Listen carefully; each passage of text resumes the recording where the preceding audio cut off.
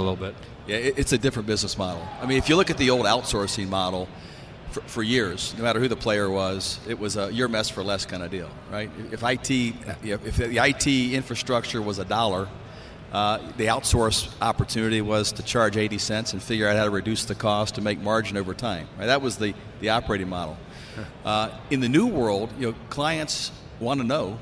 Uh, they, they, don't want monolithic, homogeneous. They want to be able to break these things down modularly by workload, by function, by department, by division.